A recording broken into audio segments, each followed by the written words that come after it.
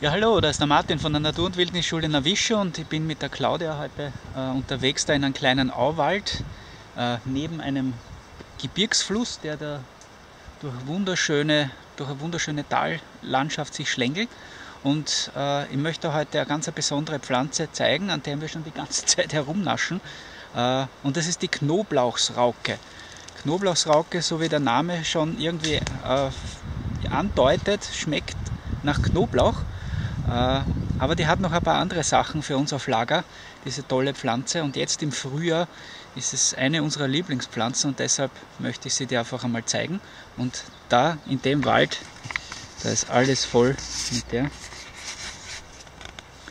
Wunderschöner Auwald. Und da sind sie schon, die ersten. Da wächst sie schon, die Knoblauchrauke blühend.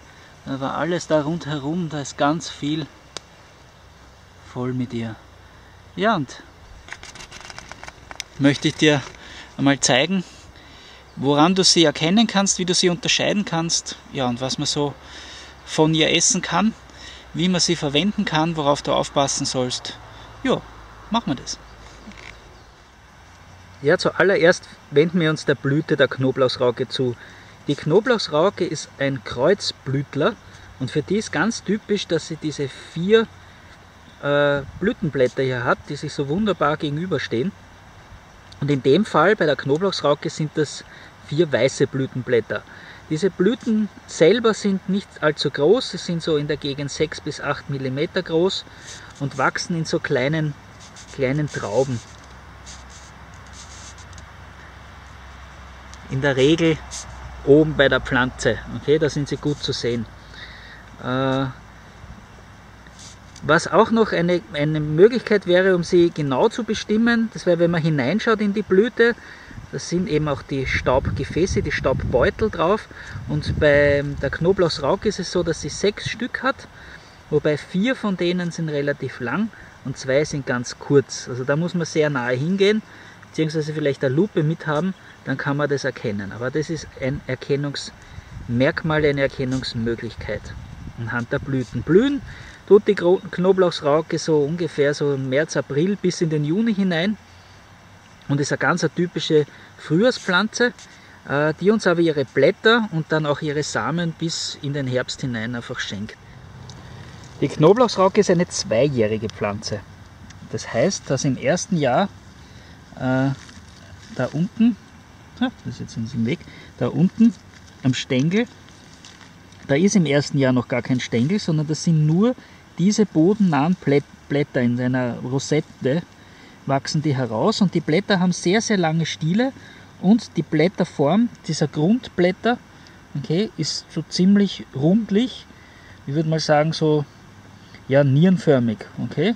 Das ist ganz typisch für die Grundblätter, die vom Boden da herauswachsen. Im ersten Jahr sieht man von dem Stiel, von dem Stängel da noch gar nichts. Der kommt erst im zweiten Jahr und schießt dann da in die Höhe und da verändern sich dann auch die Blätter ein bisschen. Sie haben immer noch Stiele, die Blätter, aber nicht mehr so lange. Vor allem je weiter man hinauf geht, die Blüte nach oben, werden die Stiele immer kürzer und auch die Form verändert sich. Die Form geht fast so in Richtung herzförmig und am Anfang, schauen wir noch einmal darunter, okay, am Anfang ist so, dass die, die Blätter so gebuchtet sind am Rand und die, die dann neu rauskommen, ja, die sind fast gezackt ja, und so richtig tief eingekerbt. Noch ein Erkennungsmerkmal, dafür muss man schon richtig gut am Boden runter und sehr nah hingehen. Das befindet sich am Boden, sowohl von den äh, Grundblättern als auch von dem Stiel, äh, wo dann oben die Blüte sitzt. Wenn man da ganz nah hingeht, dann sieht man, dass in Bodennähe einerseits die Farbe des Stiels ein bisschen eher in dieses Rötliche hineingeht, aber vor allem sie ist behaart, aber nur in den unteren paar Zentimetern. Weiter oben wird es immer, immer, immer weniger.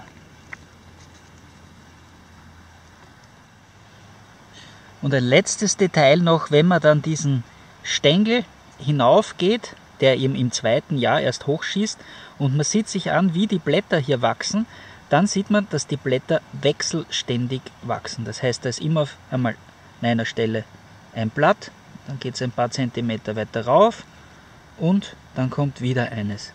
Wieder ein paar Zentimeter rauf und dann kommt wieder eines. Das ist wechselständig, immer abwechselnd. Okay? Auch ganz typisch. Ja, die Knoblauchsrauke liebt genau solche Habitate, das heißt solche Umgebungen.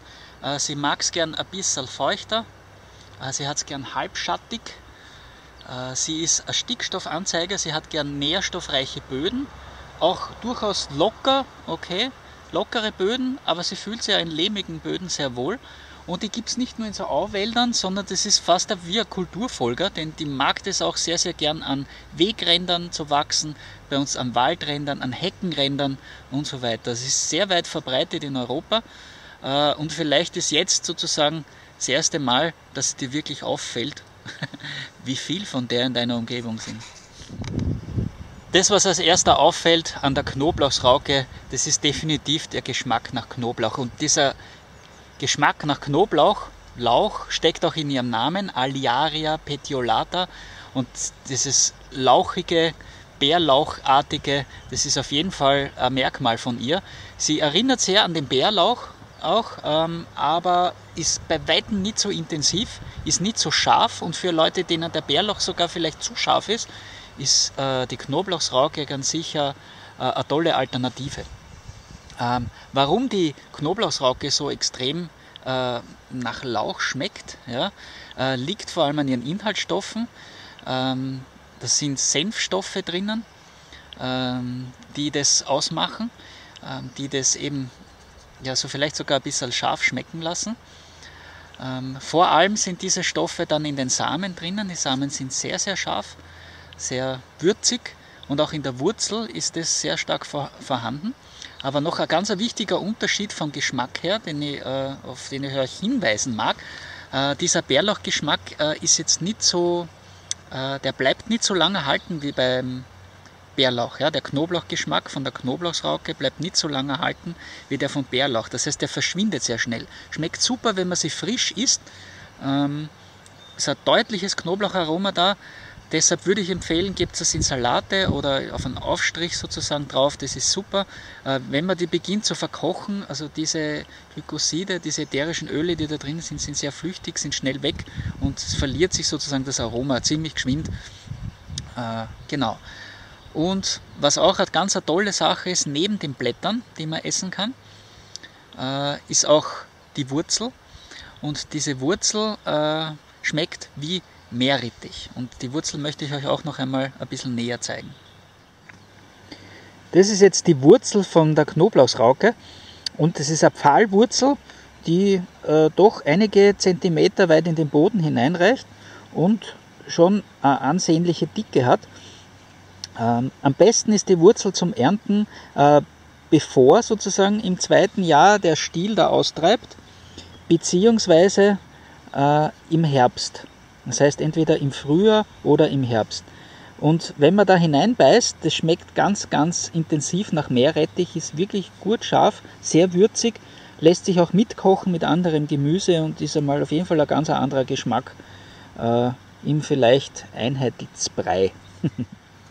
Vom Geschmack her würde ich auch äh, am ehesten empfehlen, also entweder die ganz äh, frischen Blätter, die da heroben wachsen, okay, also eher die jüngeren, die sind sehr gut, oder die, die da unten wachsen, an der Blattrosette, die Grundblätter, ähm, je größer dann die Blätter werden, und die können so richtig so groß werden, so ziemliche Plätschen, ähm, die werden mit der Zeit immer bitterer und schmecken dann nicht mehr so gut und frisch und toll nach Knoblauch.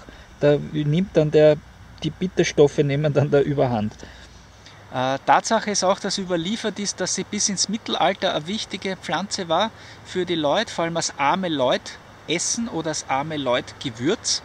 Äh, vor allem, weil äh, eben diese, einerseits der, der Knoblauchgeschmack, okay, das ist mal das Erste, dass es sehr viel Vitamin C und Vitamin A enthält. Ähm, und dann, wenn die Pflanze sozusagen aufgehört hat zu blühen und ihre, ihre Samen bildet, diese Samen äh, schmecken sehr, sehr stark nach Senf. sind auch sehr scharf, fast pfeffrig und die haben die Leute sozusagen früher eben als billiges Gewürz hernehmen können. Früher waren die Gewürze sehr teuer und es konnten sich nur wenige Leute äh, Gewürze leisten und das war Gewürz, das sozusagen überall gewachsen ist äh, und über das werde ich euch auch noch ein bisschen was erzählen. Ja, wenn die Knoblauchsrauke dann aufgehört hat zu blühen, sie ist bestäubt worden und sie beginnt Samen zu bilden, äh, dann beginnt sie äh, ebenso in, vom, über den Sommer äh, ziemlich lange Schoten zu bilden. Okay, das war jetzt vielleicht ein bisschen zu viel, aber so drei bis acht Zentimeter lange Schoten zu bilden. Und die sind am Anfang grün und da sieht man schon, dass ein paar Punkteln drinnen sind. Und über den Sommer, wenn sie dann ausreifen, da werden diese Schoten dann äh, bräunlich bis braun-schwarz. Äh, und irgendwann bricht diese Schotenhülle auf und das sind in zwei Kammern drinnen, sind dann jeweils auch wieder so sechs bis acht äh, kleine Pünktchen, Samen, die sind so zwei, drei Millimeter groß und die kann man verwenden. Ähm, wenn sie reif sind, kann man sie verwenden, ähnlich wie Pfeffer, kann sie auch in eine Pfefferreibe reingeben äh, oder in der Mörser zermörsern und als Würze nehmen. Ist wie, wie senfiger Pfeffer, okay, so. Und was man auch machen kann, ist mit diesen zerstoßenen Samen, mit diesem zerstoßenen Samenpulver, ähm, wer das mal ein bisschen an Essig noch dazu gibt und einen Brei draus macht, voilà, Knoblauchsraukensenf ist fertig. Ähm, was auch möglich ist, die Samen zu essen, bevor sie reif sind, also wenn sie noch grün sind, da kann man sie in Öl einlegen und einfach so zu Fleischspeisen oder so und so weiter dazu essen. Ist auch sehr lecker. Aber neben ihren Eigenschaften einfach als Nahrungsmittel ähm, hat die Knoblauchsrauke auch ganz tolle Heileigenschaften, die aber eben mittlerweile über die Zeit sozusagen ein bisschen verloren gegangen sind, das Wissen drüber. Aber was überliefert ist, dass sie sehr, sehr gern genommen worden ist für äh, Verletzungen, weil sie desinfizierend ist. Okay, sie ist wundheilend, sie ist pilzwachstumshemmend und keimhemmend. Das heißt, man hat sie eben auch für Verletzungen und Wunden hergenommen, auch gerne für eitrige Wunden wie eitrige Füße oder Wunden eben, die, wie gesagt, schlecht heilen. Ähm, dafür hat man sie hergenommen. Ähm, die Pflanze enthält neben Vitamin A und Vitamin C eben auch Saponine. Saponine sind so ähm, schleimige, seifenartige Stoffe, okay, die äh, uns unterstützen dabei, dass wenn wir Husten haben, dass wir gescheit abhusten können. Das heißt, die sind auch bei allen Atemwegserkrankungen äh, hilfreich. Und eine weitere tolle Möglichkeit äh, ist zum Beispiel, wenn man wehes oder wundes Zahnfleisch hat, wenn die Zähne locker werden, dann kann man diese Pflanze hernehmen äh, und kann einen ganz starken Tee daraus machen und äh, mit dem die Zähne gurgeln. Das hilft sehr, sehr gut, sozusagen diese, diese, dieses Wunde Entzündete zu beruhigen äh, und auch das Zahnfleisch zu festigen. Ja, früher wurde sie auch hergenommen als Wurmmittel war ein gängiges Krankheitsbild. Leute waren verwurmt, haben mit dem Magen zu tun gehabt. Das ist etwas, was man auch eben durch Essen, durch starke Tees und so weiter, ähm, sozusagen kann man diese Würmer im Magen einfach loswerden. Das ist eine Anwendungsmöglichkeit von der Knoblauchsrauke. Was auch überliefert ist, dass sie gerne genommen worden ist bei der Krankheit Gicht oder bei diesen Erscheinungen Gicht, ähm, sowohl innerlich als auch äußerlich als Tee bzw. als Umschlag. Äh, aber wenn wir schon bei Umschlag sind, was vielleicht für uns auch interessant wird, ähm, die Pflanze kann man auch super verwenden, wenn man von Insektenstichen gequält wird. Und zwar nicht, dass man die Mücken abhält, sondern wenn man schon gestochen worden ist und es juckt und entzündet sich, dann kann man da auch einen Breiumschlag machen und das äh, sozusagen hilft sehr, sehr schnell, äh, diesen Juck- und Entzündungsreiz sozusagen zu, zu hemmen. Ja, die Knoblauchsrauke dürfte auch einen sehr, sehr leckeren Nektar haben. Sie ist sehr beliebt bei, bei kleinen Käfern, bei Fliegen, bei Bienen, aber auch bei Schmetterlingen. Es gibt eine Schmetterlingsart, die steht sich besonders auf die Knoblauchsrauke, das ist der Aurora-Falter, denn seine Raupen fressen die mit Vorliebe. Ja, tolle, leckere Pflanze. Äh, und zum Abschluss möchte ich auch noch was sozusagen zu ihr sagen, was mir noch sehr, sehr gut gefällt an ihr. Und zwar finde ich äh, sehr spannend, finde ich ihren sozusagen Ausbreitungsmechanismus. Also sozusagen, also wie sie sich fortpflanzt. Und zwar, die ist auch nicht sozusagen bei einer Sache geblieben, sondern hat viele, viele Möglichkeiten auf Lager, wie sie sich äh, verbreitet. Und einerseits natürlich über die Samen, aber diese Samen äh, gibt es eine Möglichkeit, dass sie, wenn jemand vorbeigeht, ob das Tiere sind oder Menschen, dass sie einfach nur abfallen und sozusagen dann gleich im Umkreis von der Pflanze wieder neue Knoblauchsraukenpflanzen irgendwie produzieren kann. Aber, und das finde ich sehr spannend, wenn es regnet oder sehr feucht ist, dann werden diese reifen Samen so richtig schleimig und die haften dann an den Fellen der Tiere und so kann sich die Knoblauch, Knoblauchsrauke mit Hilfe der Tiere über weite Distanzen einfach auch verbreiten. Und sollte das alles irgendwie nicht gescheit hinhauen mit den Samen und hin und her, okay, dann was sie auch noch macht, ist, sie bildet Ausläufer äh, und Sprosse. Äh, das heißt, auch das, die vegetative Vermehrung ist eine ihrer Optionen, die sie hat. Ich habe gelesen, dass es angeblich so ist, dass die Wurzeln einen Stoff enthalten, äh, der unbeliebte Mitbewerber im Umkreis abhalten soll. Das heißt, die dampft was aus bei den Wurzeln, was andere Pflanzen nicht so wollen. Deshalb ist sie sehr oft in Gruppen bei sich beieinander oder steht eher alleine. Ob das stimmt, weiß ich nicht, aber es klingt auf jeden Fall super. Ja, so zusammengefasst, also die Knoblauchsrauke eine tolle Pflanze zum Essen. Empfehlen würde ich es, wie gesagt, einfach frisch zu essen und nicht zu kochen. Am besten in Salaten oder auf ein Butterbrot drauf oder auf Frischkäse. Ganz wunderbar. Reich an Vitamin C, reich an Vitamin A, an Mineralstoffen. Ist auch eine tolle Heilpflanze, weil sie eben äh, entzündungshemmend ist. Und ja, ist oft reichlich zu finden. Und wenn man mal das Auge hat, sozusagen, dann ist sie oft wirklich gut zu sehen und auch in, in Mengen zu ernten. Ja, und möchte auch nochmal den Hinweis geben, also bevor du draußen irgendwelche Sachen einfach isst und in den Mund steckst oder vielleicht sogar noch anderen davon äh, diesen Genuss weiter trägst, äh, bitte informier dich genau, kauf dir gescheite Bücher, studier das oder frag Leute, die sich gut auskennen, bevor du das magst, denn es gibt da draußen äh, doch einiges an Giftpflanzen, die wo es Schluss ist mit lustig, also wo man sehr, sehr schnell große Probleme kriegt. Deshalb gut aufpassen, aber lasst euch nicht abhalten davon, weil die Sachen sind unglaublich lecker und Pflanzen begleiten uns einfach schon ja, über unsere ganze Menschheit, Menschheitsgeschichte. Ja, und somit mag ich Danke sagen, einfach wieder für dein Interesse an der Serie und ja, danke einfach für die vielen tollen Pflanzenbücher für das Internet, wo man so viel Infos findet.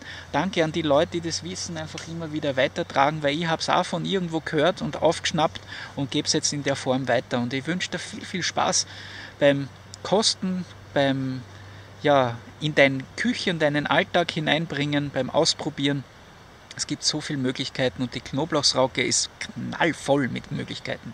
Also dann, viel Freude draußen. Ciao.